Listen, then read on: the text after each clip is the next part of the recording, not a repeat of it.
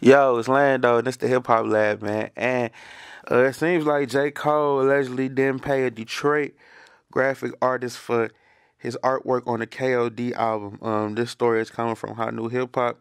When artist Sixmo, I don't know if I'm saying that right, but Sixmo, whose real name is Kamu Horan, was negotiating with J. Cole about the KOD cover art, the North Carolina rapper allegedly told him that he would only be using the beautiful work for the project's booklet. There was no mention of merchandise or anything of that sort.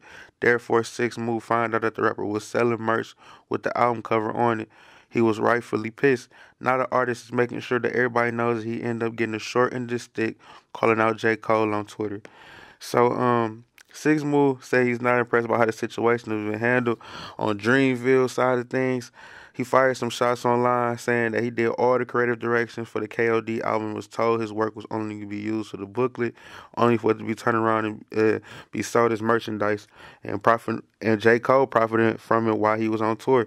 After the fans inquired about what he actually meant, he said this is exactly how he's able to exploit people. His message of positivity makes him feel comfortable while he finesses money from behind his back.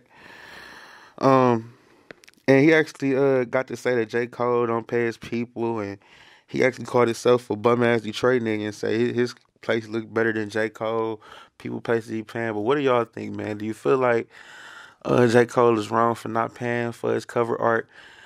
Do you feel like uh, a lot of people saying that he's cloud chasing? Do you feel like this cloud chasing? Honestly, I feel like if he was gonna, if he made something for J. Cole, and J. Cole made money off of it. It should definitely break them off, have them on tour or something, show some type of love.